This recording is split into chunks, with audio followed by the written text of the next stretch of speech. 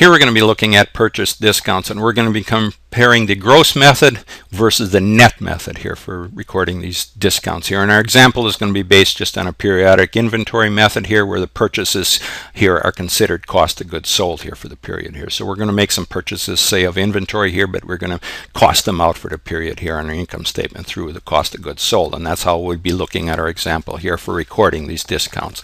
And for example here Corporation A records a purchase made on credit on 6-1 here for purchase of $20,000 worth of goods with the terms 2 slash 10 net 30, which means you get a 2% purchase discount if paid within 10 days and the gross amount here is due within 30 days. So if you pay any of the uh, uh, amount here of that uh, those $20,000 worth of goods purchased within the first 10 days you get a 2% discount on that amount. And then the net uh, total amount here is due within 30 days. And for example here we'll just have the very simple example here where we, again we purchased the $20,000 worth of goods here on accounts payable here. And then uh, later here on 6-6 we paid it $8,000 invoice on that uh, $20,000 purchase. We paid $8,000 here of that. And then on 7, and that's paid within the discount period here. But then on 710, uh, we paid the remaining balance here of $12,000 of the 20000 But that's paid after the discount period here. So we're not going to get any discount here in this $12,000 worth. But we are on the amount here of $8,000 that we paid within the discount period. So now let's go up and look at uh, this gross. First, let's look at at the gross method, how, how we'd record that here. And uh, then we have, I'm showing it here, the purchases account here on the income statement, and then our balance sheet accounts here, and cash and accounts payable. But for our this gross method here, this is where you enter the purchase and the payable at the gross amount here. So our gross amount here was that $20,000 worth of purchases that we made here. So we debit our purchases account here uh, for $20,000, and then the balance here, or the crediting amount here, would go to accounts payable credit that here for $20,000 here. Now remember, this is the gross method here, so we're recording it here at the gross amount. Now we have to deal with the um, two payments that we made here. The First for the $8,000 payment here. Um, that's where you record the purchase discount only when the payment is made within the discount period. In this case, we are making this $8,000 payment within the period here, so we get the 2% discount, and 2% of the 8,000 dollars is $160. So we credit our purchase discount here uh, for $160. Now remember, this purchase discount here uh, with the gross method, you report the purchase discount as a deduction here from purchases on the income statement. So this purchase discount acts as a contra account to our purchases account here. And uh, we got the credit amount here for $160 uh, here for a purchase discount here. Then we need uh, balancing entries here. So um, the other credit here will go to our cash account here. We credit or reduce our cash here for $7,840. That's simply the difference between that $8,000 payment less the $160 purchase discount. That gives us $7,840 here. And then the accounts payable, the debiting amount here for that uh, $8,000 payment would be to debit or reduce our accounts payable there.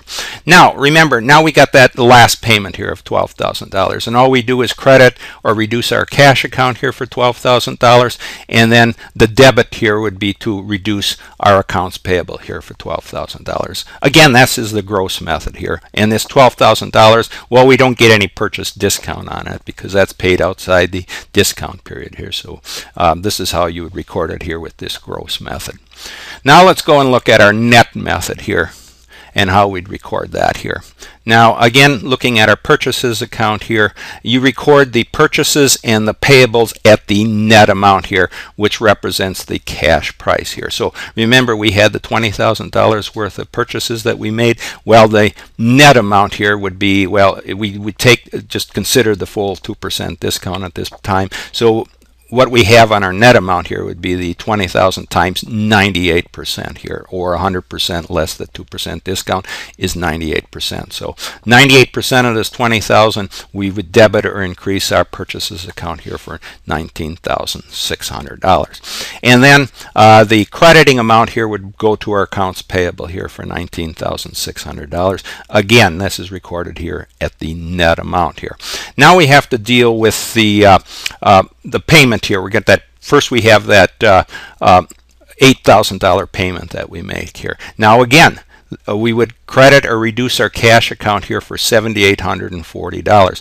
And that's at the net amount here. We have the $8,000 payment here times 98% gives us a credit or reduce our cash here by $7,840. And then the debit amount here would go to reduce our accounts payable here for $7,840. So this is using the net method here. It's just 98, uh, whatever our percent discount is, uh, subtract that from 100% here, so we end up with 98% here of $8,000 that we're recording here.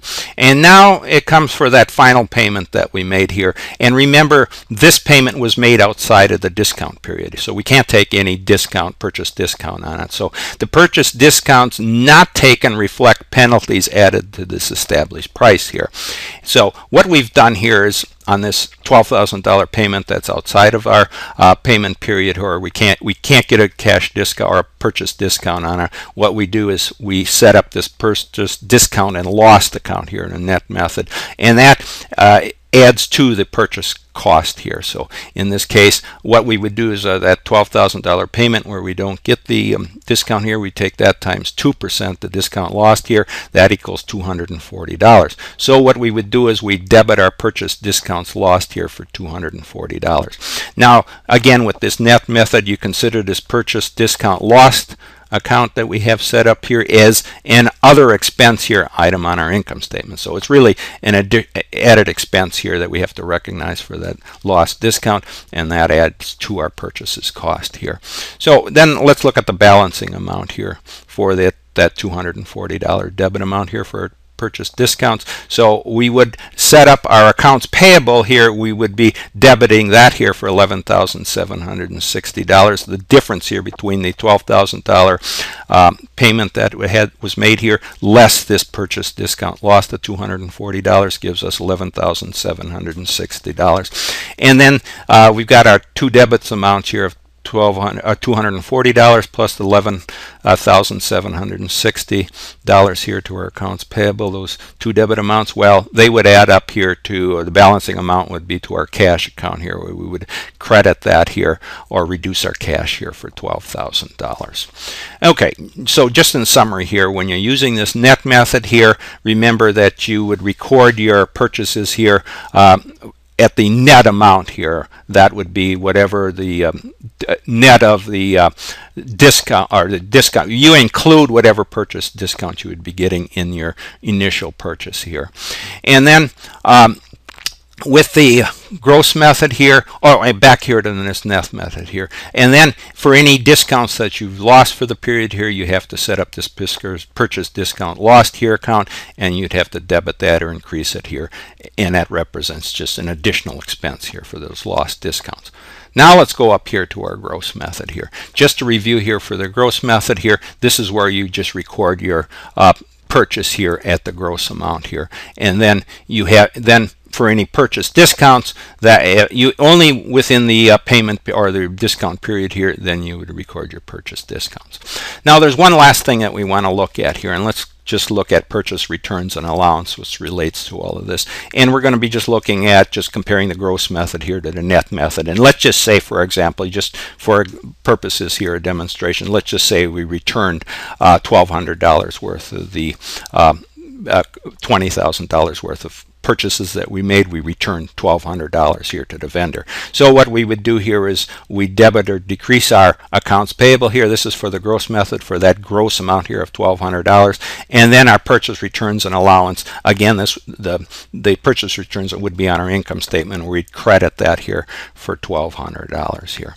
And then for the net method, well, this is where you just take the net amount here. So you had this purchase return here of $1,200. So what you would do is just take $1,200 here. 98% uh, of that here gives us a debit amount here of $1,176. We reduce our accounts payable by that amount here, and then the purchase returns and allowances here in our income statement. Again, with the net method, we'd credit that here for the um, net, uh, net amount here of $1,176. $76. So you can just see gross method, you take the gross amount here, net method, you take the net amount here and do your recording.